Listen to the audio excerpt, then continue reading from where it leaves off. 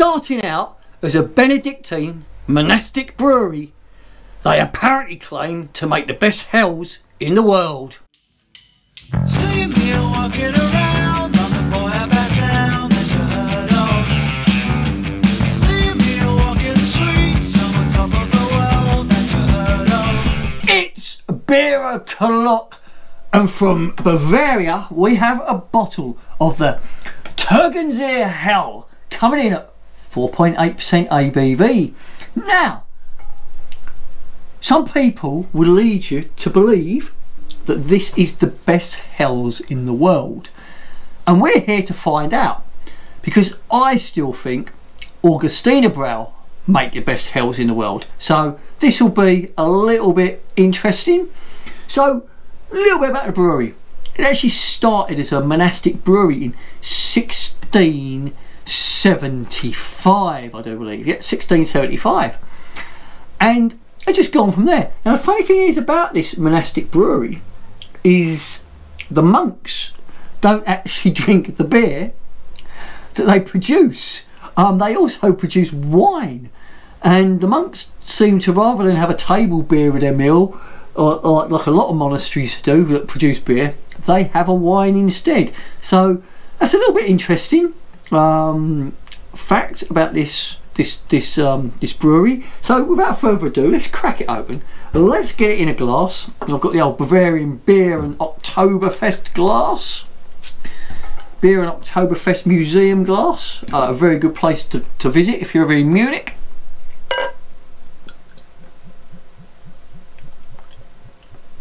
It's the first time I've ever had this beer, believe it or not.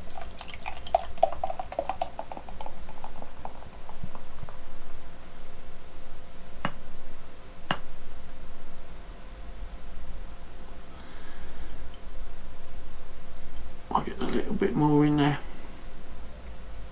There we go. Fantastic. Right. First impressions.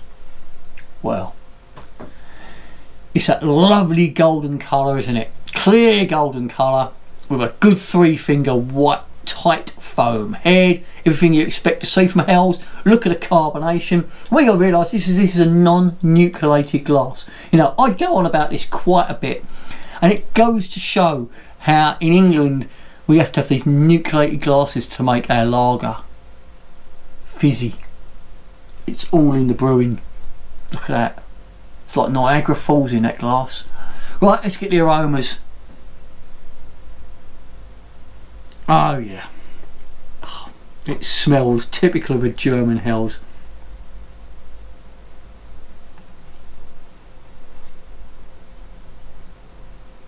Oh.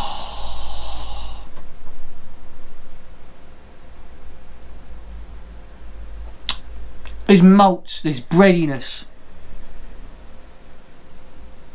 Straw, some pepper there.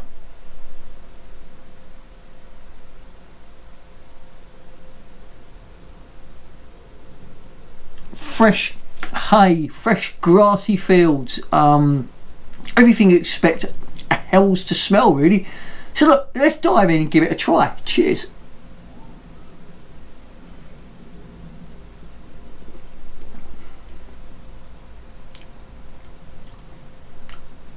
Oh yeah, that hits the spot.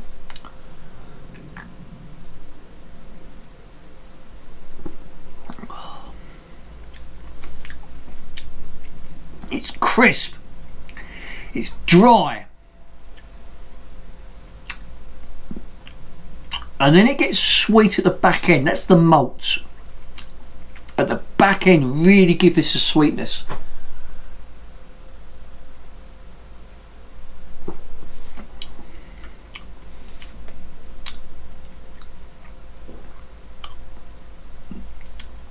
I get crisp dry. Then you get this grassy hit.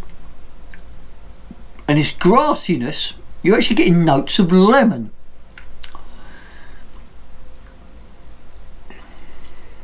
And then you're getting this malt at the back end. Which adds a bit of sweetness. You're not getting the bitterness at the back end. You sort of more get the, the dry bitterness at the beginning.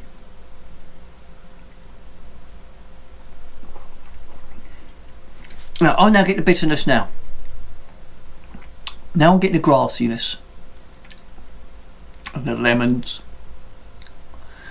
And now the malts are kicking in. And the whole of my mouth has just gone sweet and malty. Putting saliva in my mouth. Um, the carbonation's still dancing around my tongue. This is a great Hells.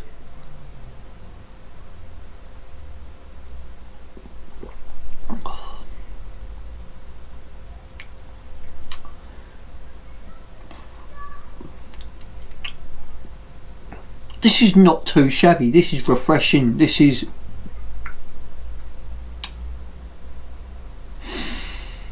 can see why people think this is the best in the world. I really, really can.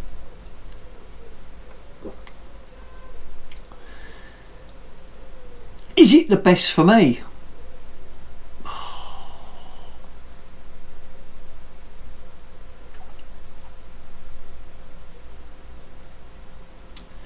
It's in my top five hells.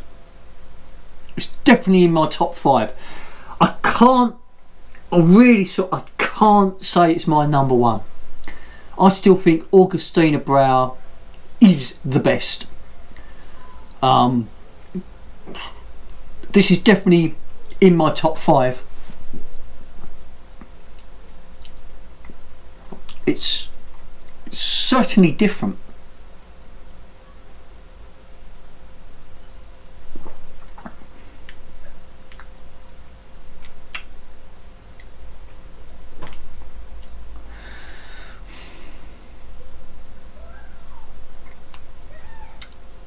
I think what it is, I like a Hells and I like a Pilsner to have that that dry finish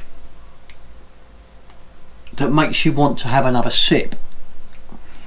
Because I'm one of these type of people that when I'm drinking this sort of beer,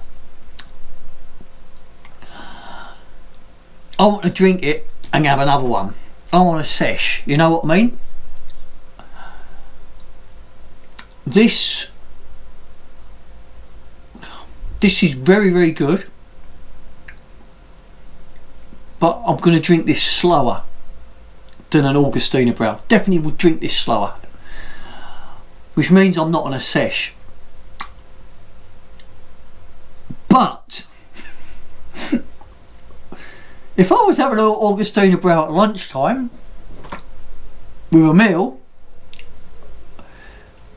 and I'm driving I'd want to have another one. Whereas this one here, I could have with a meal and I'm driving and it doesn't put me in the mood for a session.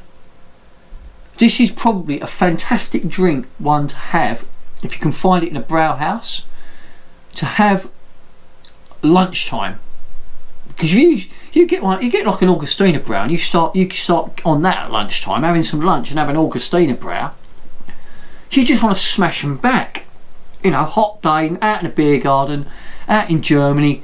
You just want to smash the Augustiner Brau back. Because it's just got that thing at the end of the, the, the end. It's got that dryness that bitterness like a pilsner uh, uh that wants you to take more get more get more. Whereas this one here after every sip, it doesn't leave you with that dryness in your mouth that you keep having that sip to try and get the sweetness back. It's psychological. That's what it is. It's um, if you look at anyone who, even a wine drinker, someone who drinks a dry white wine, will drink it faster than someone who drinks a medium white wine because the dryness makes you want to keep sipping it. You know, if you know what I mean. Same as gin. A dry gin, a real dry gin, or you'll drink more of that than a than another gin. Gin. So a great beer. A great beer to have with food of a lunchtime where you don't want to sort of get on it during the day. But for me, on a session in a in a, in a Bavarian bar, um, where you want to like ram a few down your throat, then I'm not going to pick this beer. But as a lunchtime uh, drink to have with a meal, I would pick this hands down. So it's the only way I can sort of describe it. It's you know, I don't know about you, but I, I actually my when I'm when I'm out in sort of Belgium, Holland, Germany, or even in England, right? My lunchtime habits of drinking are totally different to my evening habits. Um,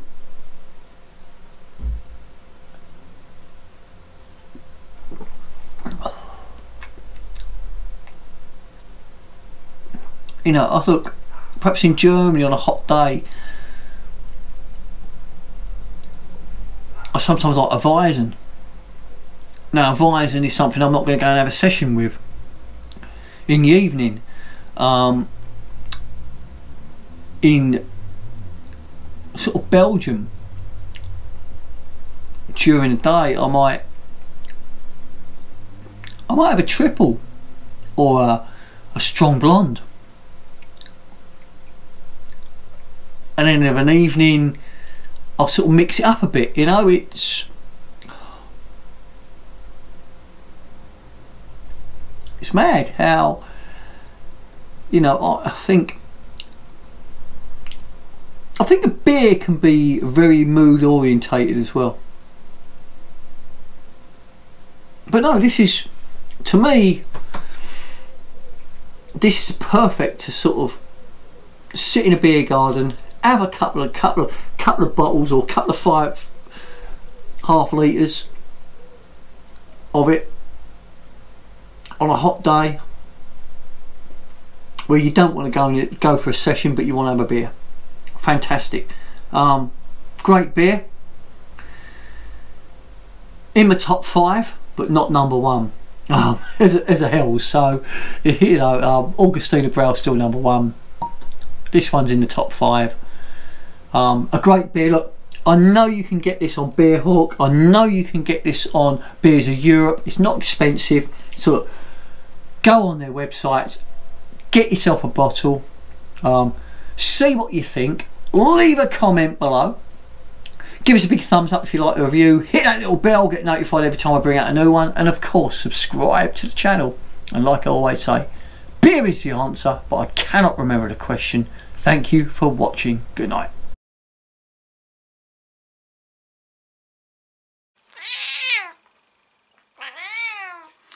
TT says never play with matches, fireworks, and always drink responsibly.